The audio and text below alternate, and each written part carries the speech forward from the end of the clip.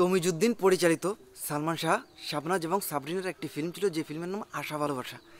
যে সিনেমার সঙ্গে ইনিশিয়ালি আপনারা কম বেশি সবাই পরিচিত সিনেমার গানগুলো আরও আগে কেন এলে না বা প্রেম, প্রীতি আর ভালোবাসা এভরি সংস চার্ট বাস্টার ছিল। তো আপনি কি জানেন ইনিশিয়ালি কিন্তু এখানে শাবনাজওয়ালা রোলের জন্য কিন্তু ইনিশিয়ালি কিন্তু অ্যাপ্রোচ করা হয় কিন্তু শাবনুরকে। তৎকালীন সময় দাঁড়িয়ে সালমান শাবনুর তুমুল জনপ্রিয় একটা জুটি। তো তার ভিতর শাবনুরকে অ্যাপ্রোচ করা সত্ত্বেও শাবনুর কেন সিনেমাটা রিজেক্ট করে?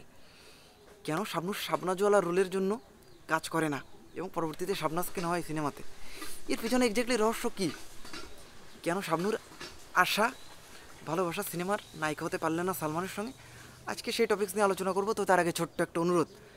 আপনি যদি ফিল্ম স্পাই চ্যানেলটিতে নতুন হয়ে থাকেন, তাহলে অবশ্যই সাবস্ক্রাইব করবেন বেল আইকনে ক্লিক করবেন লাইক করবেন শেয়ার করবেন, এবং কমেন্টস করে জানিয়ে দেবেন আপনাদের মূল্যবান মতামতটি।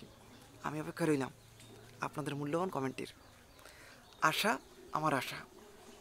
তো এটা মানে আশা, ভালোবাসা, এটা হচ্ছে তমিজুদ্দিন পরিচালিত একটা মিড নাইনটিজের একটা ফিল্ম ছিল। তো যে ফিল্মে আমরা দেখলাম সালমান শাহ শাবনাজ এবং সাবরিনা একটা ত্রিয়াঙ্গেল লাভ স্টোরি আপনি বলতে পারেন।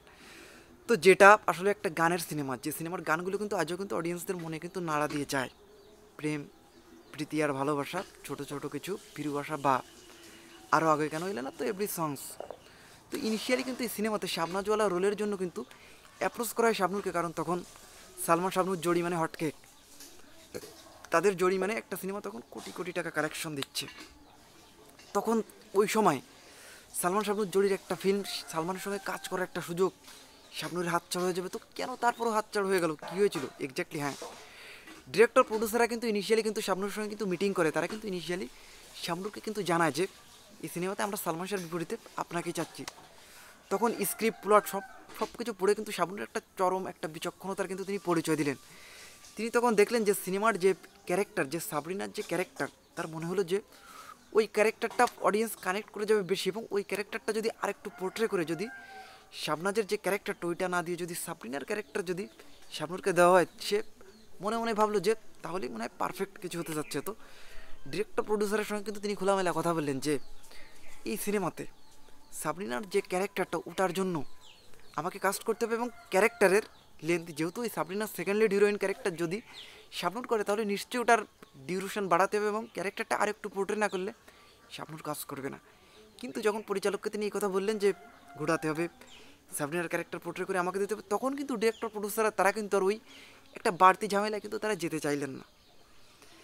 এবং আপনি দেখেন সিনেমাটা দেখার পরে কিন্তু আসলে যখন রোমান্টিক গান বেঁধে যাচ্ছে, তখন কিন্তু সাবরিনার সঙ্গে কিন্তু মনে হচ্ছে যে বেশি অডিয়েন্স কানেক্ট করছে। বা প্যাথেটিক একটা ব্যাপার যে অডিয়েন্স মনে হয় যে সেই অডিয়েন্সদের মানে ফার্স্ট লিড হিরোইন যিনি, শাবনাজ, তার থেকেও মানে কেমন জানি মনে হয়েছে যে সাবরিনা তিনি অডিয়েন্সদের মন বেশি ছুঁয়ে গিয়েছে এবং অডিয়েন্সদের মনে হয়েছে যে তার ক্যারেক্টারটাই সবসময় মানে থাকে না একটা অনেক সেকেন্ড লিড অনেক সময় ফার্স্ট লিডকে ওভার শ্যাডো করে দেয়। তো মনে হচ্ছে এরকম কিছু।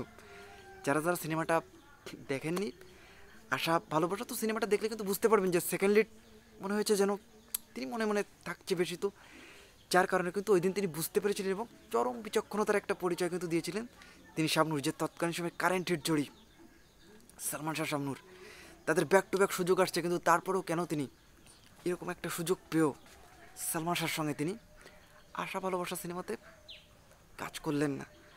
তো তিনি কিন্তু তখন থেকে কিন্তু শাবনুর আসলে ক্যারেক্টারের প্রতি তার চিন্তা ভাবনা এবং ক্যারেক্টার অ্যানালাইসিস করতেন, যার কারণে এরকম সুযোগও তিনি, নির্দ্বিধায় তিনি আসলে ছেড়ে দিয়েছেন। তো এটা ছিল এক্স্যাক্টলি আশা ভালোবাসার সিনেমার পিছনের গল্প। তো কেন শাবনুর শাবনাজওয়ালা রোলে তিনি কাজ করলেন না? তো এটা নিয়েছিল ভিডিওটি। তো ভিডিওটি কেমন লাগল? ভিডিওটি ভালো লাগল অবশ্যই লাইক করবেন শেয়ার করবেন এবং কমেন্টস করে জানিয়ে দেবেন আপনাদের মূল্যবান মতামতটি। আমি অপেক্ষা রইলাম আপনাদের মূল্যবান কমেন্টের